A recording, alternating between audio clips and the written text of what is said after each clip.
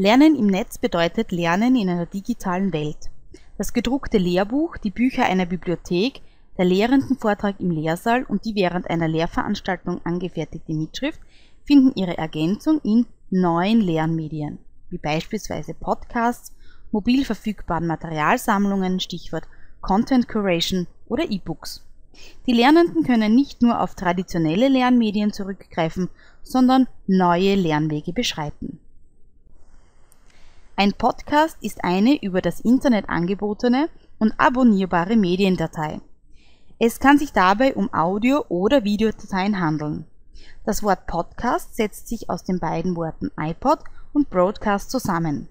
Ein Podcast ist eine Serie von Medienbeiträgen, also einzelner Episoden, die im Internet meist kostenlos bereitgestellt werden und über einen Feed, zum Beispiel einen RSS-Feed, abonniert werden können diese einzelnen Episoden erscheinen meist in einem bestimmten Rhythmus und können über einen längeren Zeitraum hinweg bezogen, also heruntergeladen werden. Werden Videobeiträge zur Verfügung gestellt, spricht man auch von Vodcasts oder Videopodcasts. An der Universität Graz gibt es beispielsweise die Möglichkeit, einzelne Lehrveranstaltungen als Podcasts zu beziehen. Die einzelnen Lehrveranstaltungseinheiten werden aufgezeichnet und für die Verbreitung über das Netz optimiert. Sie können auch nachbearbeitet werden, beispielsweise durch die Bearbeitung der Tonspur, das Ausschneiden einzelner Passagen oder auch das Einfügen eines Vorspanns und/oder eines Abspanns. Beim Anfertigen von Podcasts, die über das Internet bereitgestellt werden, muss besonders darauf geachtet werden, keine Urheberrechtsverletzungen zu begehen.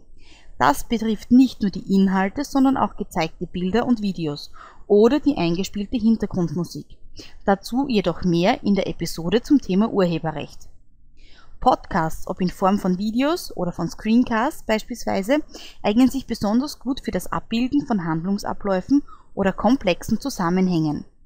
Es gibt beispielsweise zahlreiche Podcasts zum Erlernen von Musikinstrumenten oder zum Kochen, um auch universitätsfremde Bereiche zu nennen.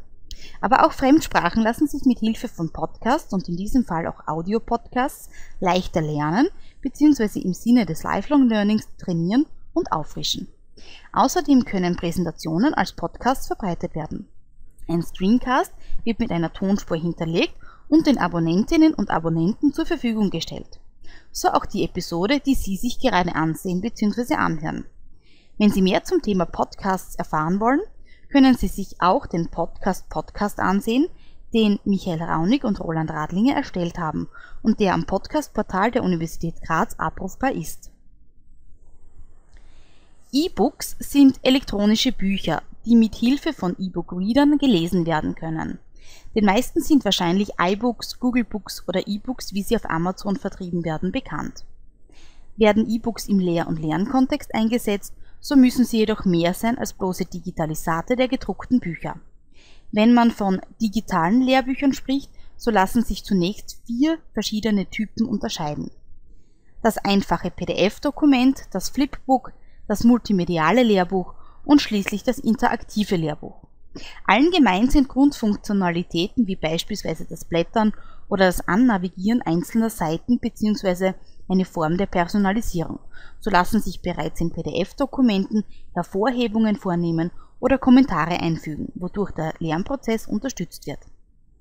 Das Flipbook bietet die Möglichkeit, die einzelnen Seiten zu flippen, also wie in einem Buch weiterzublättern, anstatt zu scrollen. Meist können hier auch Lesezeichen hinzugefügt werden, um einzelne Kapitel oder Abschnitte herauszuheben. Fortgeschrittene digitale Lehr- und Schulbücher können auch multimediale und interaktive Elemente enthalten. Darunter versteht man beispielsweise Video- oder Audioelemente oder 3D-Animationen. In Hinblick auf Interaktivität bieten einzelne E-Books die Möglichkeit, zum einen mit der Lehrperson oder den Studienkolleginnen und Studienkollegen in Kontakt zu treten, sich auszutauschen und Kommentare und Anmerkungen zu teilen oder zum anderen interaktive und autokorrektive Übungen zu absolvieren, die gleichzeitig eine Lernfortschrittskontrolle bieten ein multimediales Handbuch für die Lernplattform Moodle kann man auf der Homepage der Akademie für Neue Medien und Wissenstransfer herunterladen. Hier wurden die Handlungsanleitungen zum Umgang mit Moodle als Videoanleitungen integriert. Content Curation meint das Sammeln, Organisieren und Verwalten von Inhalten. In einer digitalen Welt, in der im Sinne des Konnektivismus überall gelernt werden kann und in der das Lernen nicht mehr auf die Bibliothek, den Lehrsaal oder den eigenen Arbeitsraum beschränkt ist, ist es wichtig, seine Lernressourcen zu verwalten. Mobile Endgeräte wie das Smartphone oder das Tablet machen das Lernen orts- und zeitunabhängig möglich. Ob im Schwimmbad, im Zug oder auf der Couch. Informationsrecherche und folglich auch das Knüpfen neuer Knoten im Lernnetzwerk ist lediglich an eine Internetverbindung gebunden. Die gefundenen Ressourcen müssen jedoch verwaltet und sortiert werden. Sie müssen organisiert werden, um sie später auch wiederzufinden. Hierfür gibt es im Netz zahlreiche Tools, die das Sammeln und Verwalten erlauben. Hier sind beispielsweise Tools wie Learnist, Scoopit oder Pinterest zu nennen, die wie Online-Pinwände das Anpinnen von Content, also von Inhalten, seien es je nach Tool Links, Dokumente oder Bilder, ermöglichen hier können einzelne Boards eingerichtet werden, die dann mit dem Content befüllt werden. Meistens wird ein Link oder Dokument anhand eines Bildes angepinnt. Diese einzelnen Elemente, ob sie nun Pins, Scoops oder Learnings heißen, können auch mit Schlagworten versehen werden, was ein nachträgliches Suchen innerhalb eines Boards erleichtert. Außerdem wird die Interaktion mit der Community und somit das Ausnutzen der sogenannten Schwarmintelligenz durch Kommentarfunktionen bzw. die Möglichkeit, Inhalte auch in sozialen Netzwerken zu teilen, erlaubt. Sie können sich unsere Boards bei den unterschiedlichen Anbietern ansehen, wenn Sie nach Beispielen suchen. Learnist ist stärker hochschulisch und schulisch geprägt, vor allem im US-amerikanischen Raum. Scoopit wird von der Wissenschaftscommunity genutzt, Pinterest ist aufgrund der thematischen Orientierung, beispielsweise auf Reisen, Essen, Feiertage, eher in der Freizeit anzusiedeln.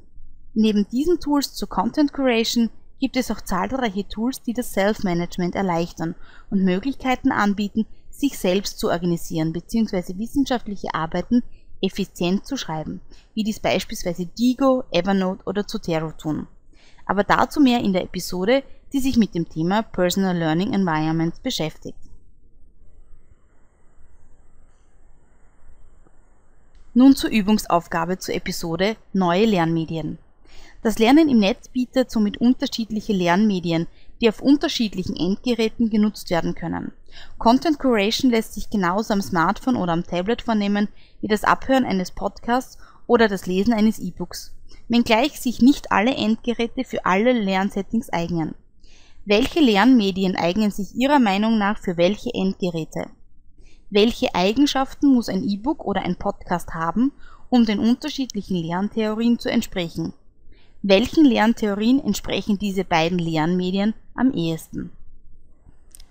Und auch hier finden Sie wieder einen Überblick über weiterführende Literatur zur Thematik der neuen Lernmedien